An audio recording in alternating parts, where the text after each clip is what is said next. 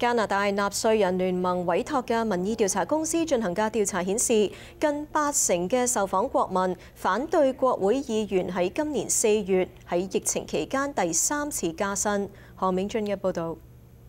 加拿大納稅人聯盟表示，自疫情爆發以來，國會議員已經兩度加薪，而委託 Lachey 民調公司進行嘅調查顯示，七成九嘅本國國民都反對國會議員喺四月一號再度獲得加薪。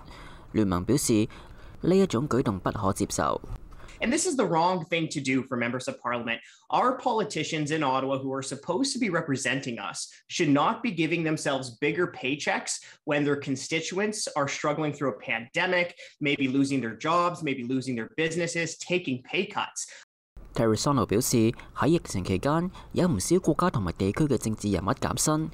而佢認為聯邦政府應該仿效喺二零零八年經濟衰退期間當時政府嘅做法。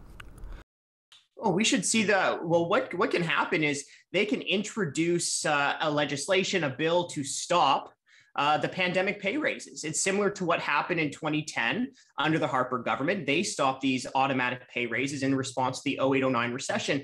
根據加拿大納税人聯盟估算，喺四月獲得加薪之後，後座國會議員薪酬相較於疫情前增加一萬多元，總理杜魯多就會加薪兩萬一千多元。新時代電視何明俊報導。